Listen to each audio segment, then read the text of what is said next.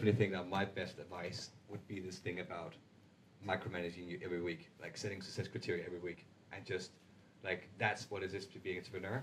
It's setting a goal for yourself that you reach and celebrate it, and do that every Friday, and then you'll create something. I will do one party line one and one general one. Look at more at just equity. Look at once you're established business, you've got more options, and maybe use those.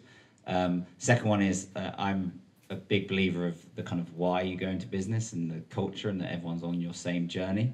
Um, so when you're hiring, you really need to hire curious people that are really interested in what you're doing as a business and the kind of why you're doing what you're doing as a business to grow. You don't want to be creating kind of bad apples and people on the way that don't really buy into your business model. If you're disrupting, probably don't hire too many people from the industry you're disrupting because it's likely they've not got the right case. You've really got to build it from from the ground up and train people to be the pe- people that really believe in your firm and, and who you are. And as I say, Will, um, who puts his hand up, is, is one of the another capitalizer in the room. Um, and you know, we're all, this, you've really got to be solid on your culture. Um, my one piece of advice is, is on a party line.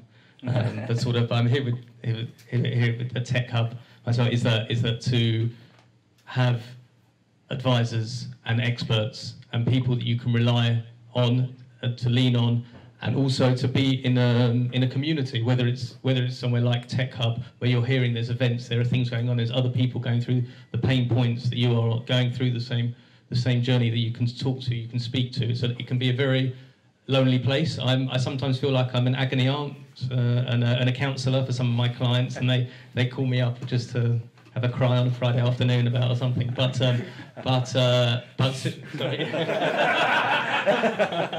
um, but uh, no, you know, have those advisors close to you, and have them lined up when you need them as well. I've had people saying, "I'll speak to you, Steven, in a year's time when I'm at that point." Um, there's no harm in getting you know getting those relationships teed up already.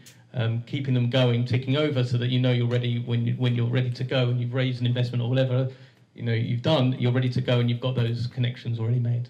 That's my piece of advice. Okay. Well, uh, thank you all very much.